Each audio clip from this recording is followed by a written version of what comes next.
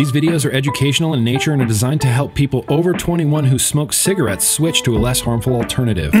Hmm, all right. Well, what's up, everybody? It's Grim Green back here, and today we're going to be talking about some mother truckin' science, but not just science. This is a honestly groundbreaking study from the MUSC Hollings Cancer Center. They have done the largest vape study ever done in the United States. This study should theoretically maybe silence a few critics who insist that nicotine vaping and e cigarettes just don't help people quit smoking. The Cochrane Review, the Cochrane Library, which is based in the UK, has had a living systematic review for e-cigs for smoking cessation going on for the last few years. It's an ongoing meta-analysis of all of the best current available evidence regarding nicotine vaping for smoking cessation. The Cochrane Library is considered worldwide the gold standard of meta-analysis and is used by countries worldwide to inform their health policy. The Cochrane Library recently did an update to this review, which I'll have a video for later, but even at the time of their last previous update, they already had high certainty evidence that nicotine vaping was more effective than pills, patches, or gums at getting smokers to quit. Over here in America, the MUSC Hollings Cancer Center just conducted the largest and most extensive e cigarette trial in the history of America. And the results are honestly, I don't like using buzzwords. These results are honestly game changing. Dr. Matthew Carpenter and his team set out to answer the critical question Can nicotine vaping and e cigarettes help smokers quit? And can nicotine vaping and e cigarettes help smokers quit even if they weren't planning to? Well, here's the thing Dr. Carpenter himself said he was blown away with the results because every hypothesis they tested came out true. I mean, that's pretty rare in the world of science, but the results are pretty undeniable. The people who got their hands on an e cigarette in the study showed more success in quitting smoking and reducing harm compared to those who didn't. His exact quote was No matter how we looked at it, those who got the e cigarette product demonstrated greater abstinence and reduced harm as compared to those who didn't get it. And here's the thing that makes this a truly groundbreaking study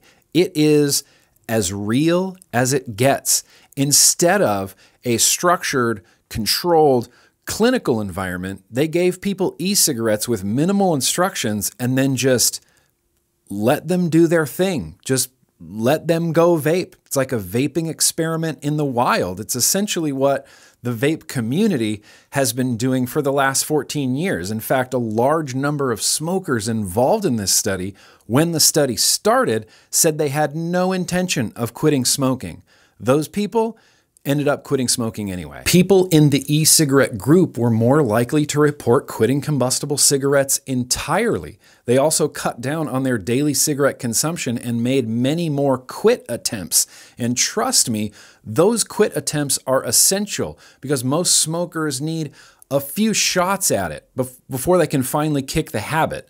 Unfortunately, this gets called dual use by the tobacco control mafia and is used as an argument against nicotine vaping and e cigarettes. But any real human smoking person will tell you quitting takes many, many attempts, just like this study says, and dual use is most likely an off ramp to complete cigarette abstinence just like this study says. So, Dr. Carpenter and his team, Dr. Benjamin Toll, director of the MUSC Health Tobacco Treatment Program, they're pushing for an educational program which would clarify the very simple fact that while neither option is completely safe, what is completely safe in the world. While neither option is completely safe, traditional cigarettes are an order of magnitude more harmful than nicotine vaping and e cigarettes.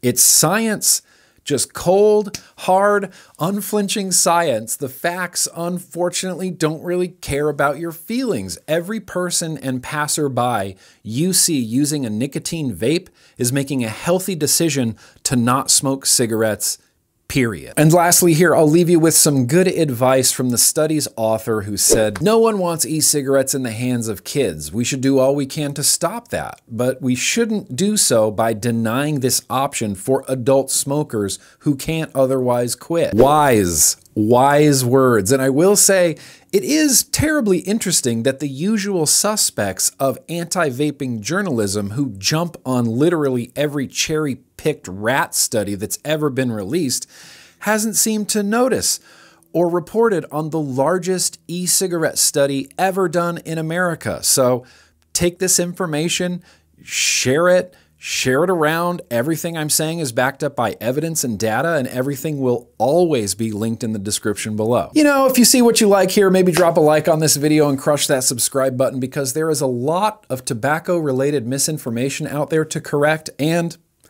I'm kind of just getting started. This has been a Grim Green video. Let's stay smoke free literally every single day. it's like 10:30 and I'm uh, just gonna smoke, so compared to those who didn't. Didn't. Fuck.